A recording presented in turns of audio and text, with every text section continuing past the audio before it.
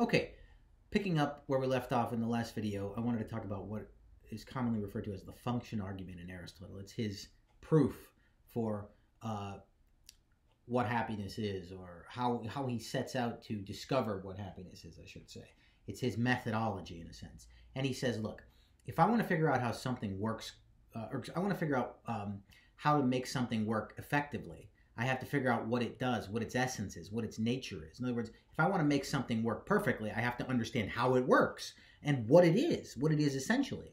And so, looking at the human being, what are we? What is our nature?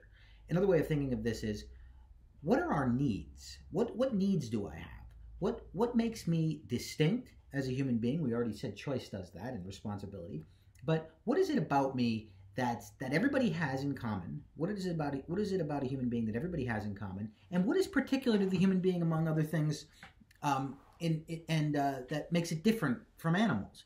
And if I can figure out what what human nature is, or what the human essence is, what it is in itself, I can figure out how to make it work properly, and I can figure out what its needs are and satisfy those needs. Okay, so I need to know what I am and what my nature is to figure out how I can flourish. Okay, and uh, a great uh, Aristotle thinks most people aren't happy because they don't treat themselves as what they are or like what they are. In other words, they treat themselves like they're animals, right? What is a human being? Is a human being merely an animal? If so, then I should treat myself like an animal because I only have animal desires and animal pleasures and that's it. Or is the human being something different than an animal? Does it have does it have animal desires but does it have other desires or needs? Does a human being is a human being just I mean so think about this. This is why this is so important to philosophically reflect on happiness because knowing and having a conception of what a human being is and no doubt you already do will lead to how you think you should live your life. If I think a human being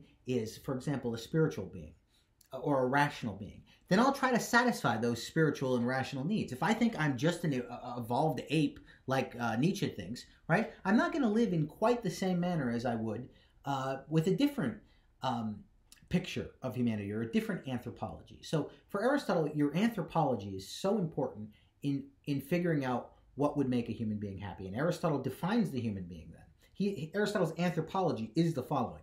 The human being is the rational animal, the zoon, logon, echon, the animal that has reason, or logos. Reason, and uh, the Greek word logos um, just means uh, rationality or thought or even speech.